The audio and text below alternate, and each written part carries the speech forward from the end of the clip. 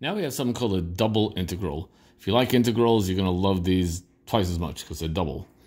Now this looks, again, like this hideous, monstrous, um, you know, thing, but really we're just going to break it down. When we break it down, it's going to be, uh, well, not so bad.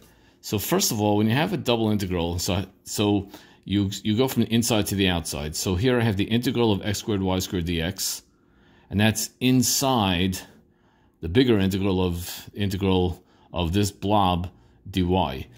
So first we do, so we always go from inner to outer. It's, it's similar to when you have parentheses inside parentheses. You always start with the inner parenthesis first. So I'm focusing on what's inside here.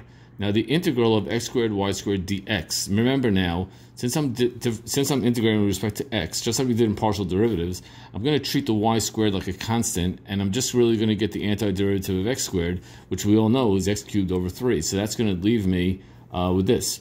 I now have this whole middle thing, this whole middle thing just turned into x cubed over 3 times y squared, because the y squared is just a constant, just comes down, and the x squared becomes x cubed over 3. Now, I don't do any plus c here.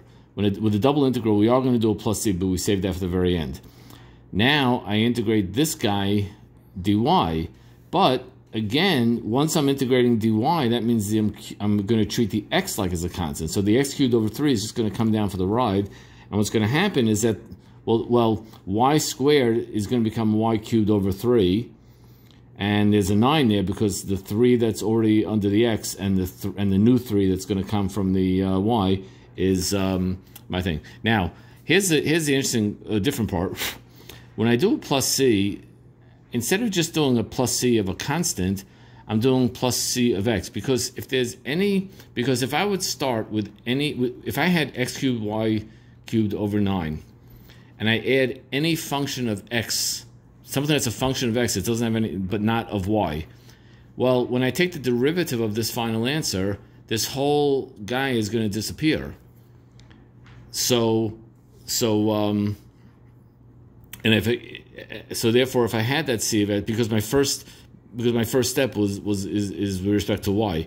So that's why I'm adding not just c, but c of x because anything, if I had, for example, I had x cubed, y cubed over 9 plus uh, x to the ninth power.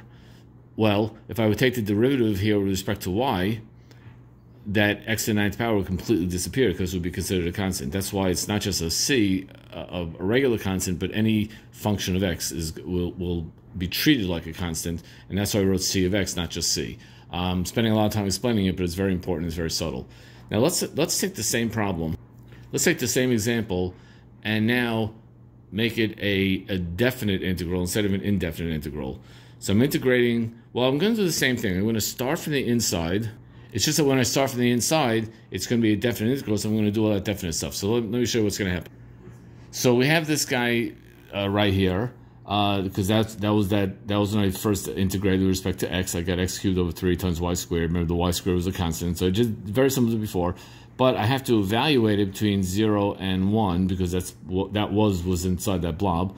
Now that's going to equal uh, this. So this guy here is equal to one cubed y squared over three minus zero cubed y squared over three dy, and that simplifies to just y squared over three because that's that's zero. The whole thing disappears. That one is just well, it's just one. So it's y squared over three, and I'm integrating this now dy from zero to one, and that's going to give me uh, y cubed now over nine. Why nine? Because it's really y cubed over three, but I already have a three, so the three times three is nine.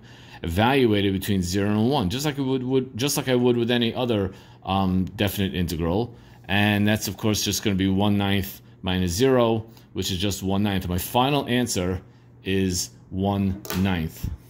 So what does this uh, problem have to do with classical music? Because there was Beethoven's ninth, and this problem is one ninth.